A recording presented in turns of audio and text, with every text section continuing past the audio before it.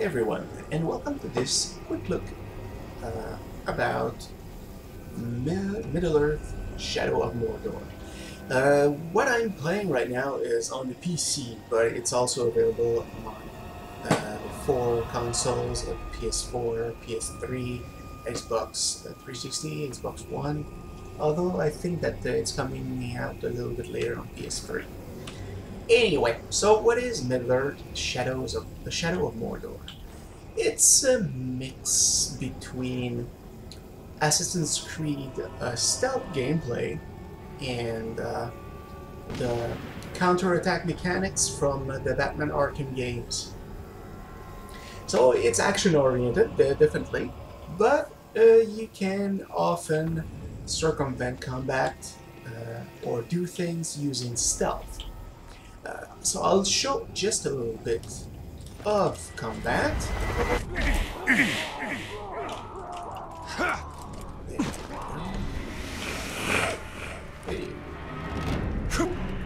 So right now I'm playing on uh, middle of the road graphics.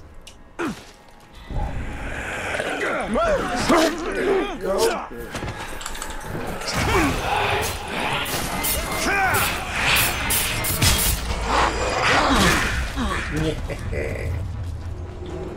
so I just saved those slaves. So here I you, you got uh, one example of a stealth kill followed by a combat kill. Oh, there we go. Uh, this is a rune, and uh, you get runes by killing captains. So, who are captains? Let's go check. Sauron's army. so yeah, here you see all the captains and war chiefs of the, the orc army. And uh, you gain experience, power points, and runes by killing those. And when you begin the game, uh, everyone is black like this. You really don't know anything about them and you can interrogate orcs to find out their identity and or their strengths and weaknesses. Um, so if you interrogate a normal orc, you'll just find out their identity. And there's another thing that you can do to find out a bit more about them. Let's see on my map. Yeah, like this. Uh, as you can see at the top right, says Intel. So either there are documents or an orc that can give more information about the captains. So whenever you want to uh, to hunt a, a, specific captain, you will try to get all the information that you need. Why? Because it's much easier. Let's take a look at this guy. For example, here I know that he can be killed uh, easily with stealth. And he can be uh, hit decently uh, by doing a melee combat. However, he's invulnerable to ranged attacks. So when you know their strengths and uh, weaknesses, it becomes much easier to fight the enemy. And if you don't know anything about them and you just charge right in, there's a fair chance you'll get your ass kicked because you have no idea what to expect. You might hit one of their uh, strengths without knowing. Uh, let's say uh, you shoot um, a sort of beehive, and normally it releases uh, Morgul, uh, Morgul flies. And these things usually either hurt or terrify orcs, but sometimes it can be one of their strengths. Like they, they hate a Morgul fly, so it will get, get enraged and become stronger. So yeah, you really need to know their strengths and weaknesses before you attack uh, an orc. Anyway, so as I said, when you attack one, when you kill it, you uh, get uh, a rune, and it's also very important for if you want to attack the war chiefs, because usually they have bodyguards. This one doesn't have any bodyguards right now because I killed him. While him, he does have one. And uh, let's see. Ah, there we go. Sometimes orc captains fight against one another because they're orcs, so they want to kill. Uh, they want to kill each other and become the strongest one there is. Another thing, uh, even if you kill a captain, sometimes they will come back later on. So here you see like heads on spikes. That means I really killed them.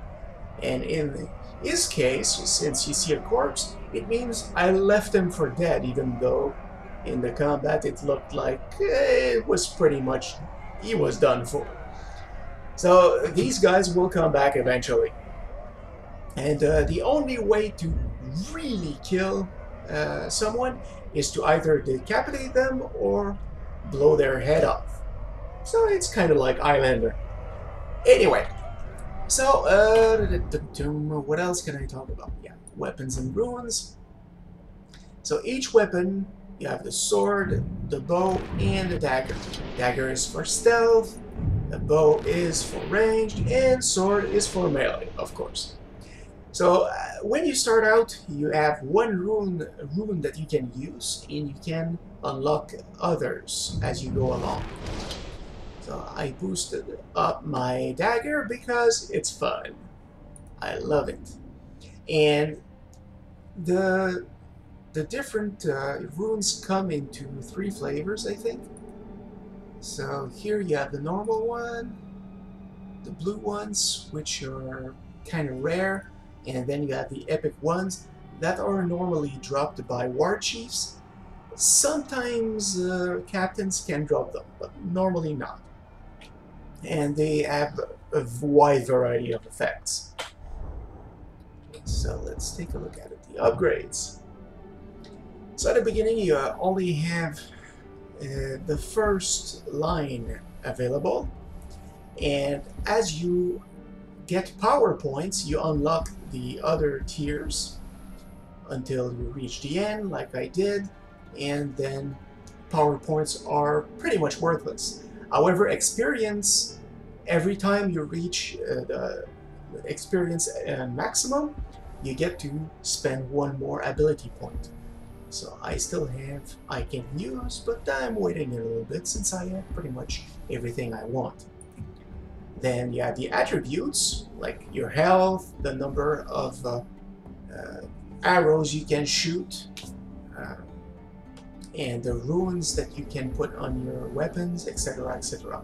Then you have three special abilities that are extremely strong, but that it can it takes a while to sort of uh, build them up until you can use them again. And finally, you have all the different activities that are similar to what you would find on Assassin's Creed games. Anyway, and there's a lot of lore. So I really enjoyed the lore. So if you're a Lord of the Rings fans, I'm sure you can find something to your liking. Now, if we look at the map, here we can see some missions that are available, but uh, the red missions are those that are related to orc captains. Uh, normally, you also see some uh, to, let's say, uh, free some slaves, uh, to power up your weapons, and also uh, story missions like this one and uh, you also have fast travel waypoints that you can unlock and so far I've done I, pretty much half of the game. I'm really enjoying myself. I'm not very good with action type games but I am becoming uh, better and better as I go. So definitely uh, definitely nice. So even if you're not necessarily interested in that type of game you might find something to like uh, in uh, Shadow of Mordor.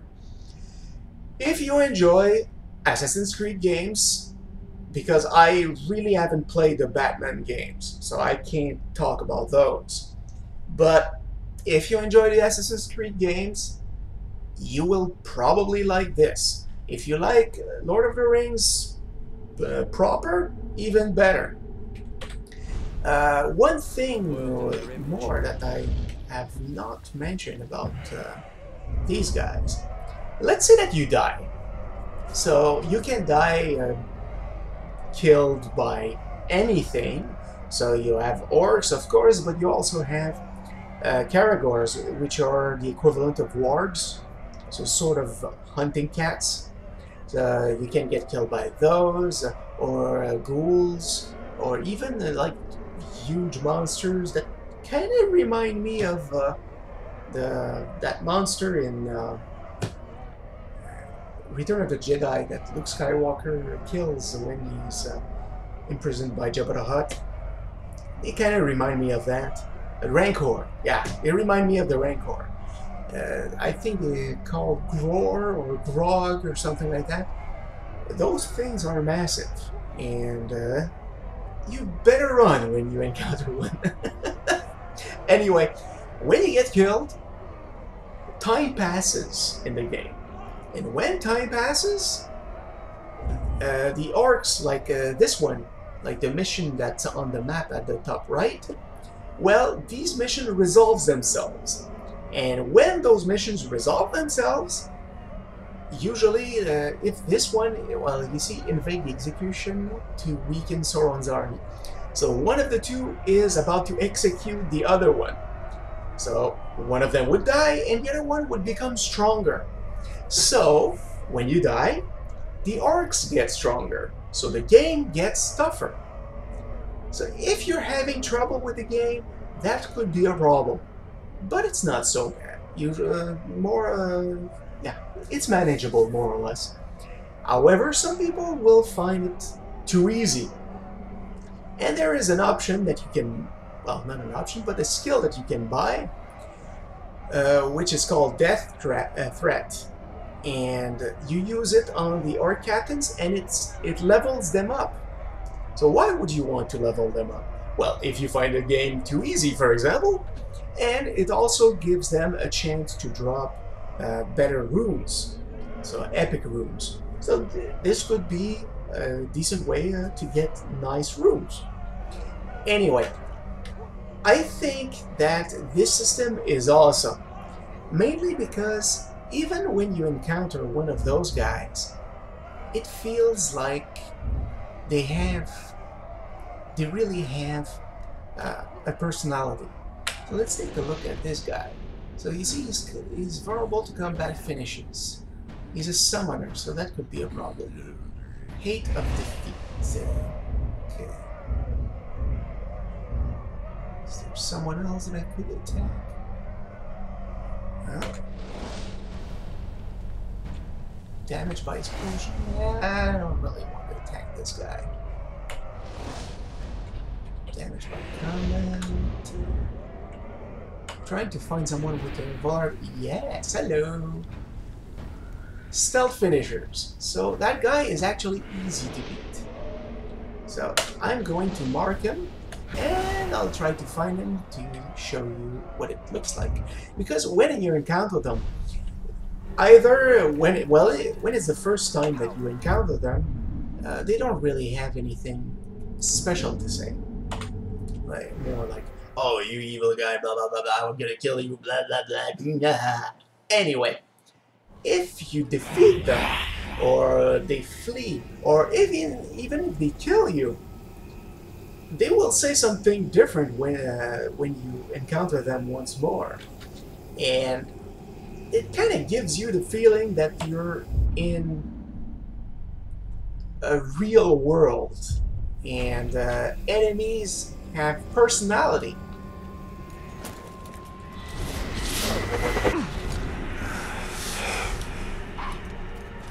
But there are two problems with the game.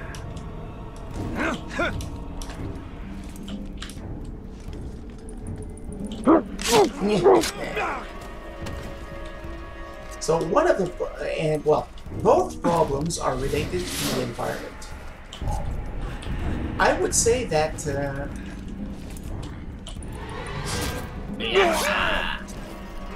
there's one big problem is that they didn't you uh, give enough time to polish uh, the environment Because sometimes, well, not sometimes, rather often, you get caught in like a corner or an invisible line, and uh, it's easy to get uh, unstuck. You just jump or uh, roll to the, the side, but it gets annoying.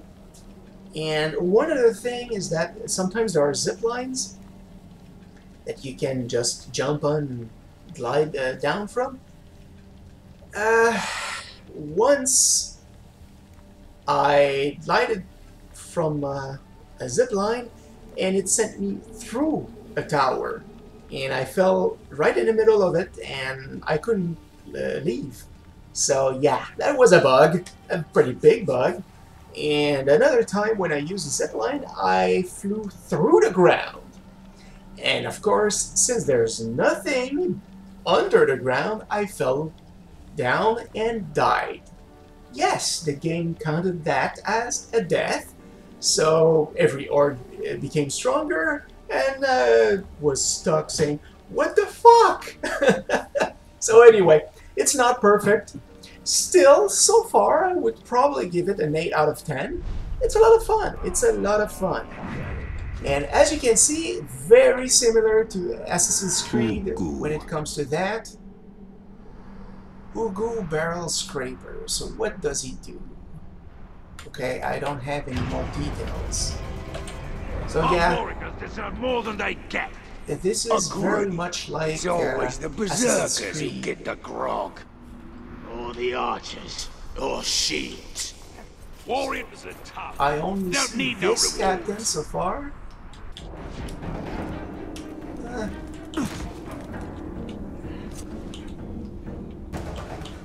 I've had enough of the voodoo. Time we marched off elsewhere. Something's you won't have to wait long. Saw a captain from Nurn here a few days ago. Nurn? Someone's sneaking about. We bloody reeks of feet. Try. They got lots of soft kids there, though. Manfield! Find me! Ranger! Ha! Don't you dare run away from me! I'll chase you all over Mordor! As you wish, I'll kill you right now.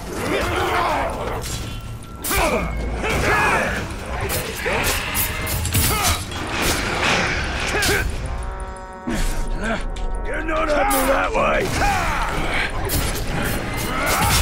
And we're gonna kill him. There we go. I did not decapitate him, so he will be back. And he dropped. And since I'm in a stronghold, it's not a good idea to stay here. Yay! So an easy way to get uh, rid of uh, pursuers is to go up these towers. So once you're done uh, high enough, they don't follow you. There we go. Anyway, so combat is a lot of fun. And uh, at the beginning it can be a bit difficult if you're not used to uh, action games. But hey, even I could learn, so I'm sure you can. Uh, one last thing, I've been playing with a keyboard. I do have a controller. However, I started playing the game with... He saw. Uh, so, anyway, so yeah, um, I started playing with the keyboard, so when I tried to play with the controller, ah man, come on. I was having a little bit of difficulty to adjust because I was used to the keyboard. So if you start playing with the controller, I'm sure you'll have a much easier time uh, at the game because the controller was uh, the game was made for controllers. Uh, still, it's quite playable with the keyboard. Uh, you kind of have to, do a little bit of uh, hand gymnastics, but still very playable. Anyway, I hope that uh, this quick look was informative, and uh, I certainly hope you will try the game. I certainly enjoy it, and I will definitely finish it as soon as I can. Uh, as I said, I've done half of the game so far, and I'm not about to stop. Anyway, I'll see you next time.